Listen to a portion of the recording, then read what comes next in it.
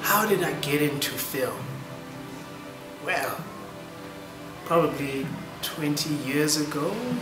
Uh, I think the power of film, and how much it inspired me, uh, moved me, convinced me that this is what I want to do, to move people, inspire them. And it's maybe a, a handful of films that planted the seed and then helped me to make the decision. Like, this is it, this is what I'm gonna do.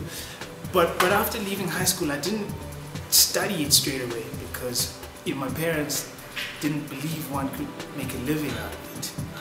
And they, they wanted to make sure that whatever education I get can actually earn me some money.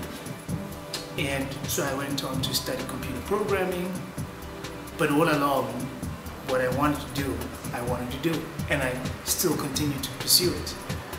And before I even finished my degree, I, I got my first job and I got into film. The film that had the earliest, biggest impact on me was, it must be Russell Crowe's A Beautiful Mind. And I believe um, there's a Ron Howard film. Well, I think in that year, Russell Crowe released two films. One was A Beautiful Mind and the other was The Gladiator. And the movie was, oh man, it did so many things to me about, because A Beautiful Mind, uh, I think celebrated uh, kind of a, a brilliant, troubled mathematician. And the actors transformation in the performance and the story as a whole it it it it it moved me so much and I was convinced. I was like this is this is what I want to do. I want to put everything that I have into doing this. And if I could have this kind of impact on people I'd be fulfilled.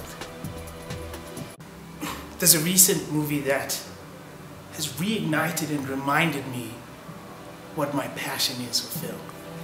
Um, I mean, in our company, Diamond Hill, we are focused on exporting inspiring films that are commercially successful and can also have critical acclaim. But when, when I watched Birth of a Nation, uh, Nate Parker's film, it really reminded me uh, why this passion for film. I mean, it's, it's the subject matter it's conscientizing people, a world, bringing, bringing them to a certain way of thinking, while, all whilst they're being entertained. But you walk out of that film changed. And for whatever has happened uh, around this man and, and the film, and why, A, I think it's courageous. Um, and why film? Because there's always been a passion to entertain and inspire. And this medium, I think, unlike many other mediums, I mean, you get moved by a lot of mediums, but this one specifically, uh, with, with me and, and now the team that we have together in our company, um, it moves people and it changes, it, it, it changes the world.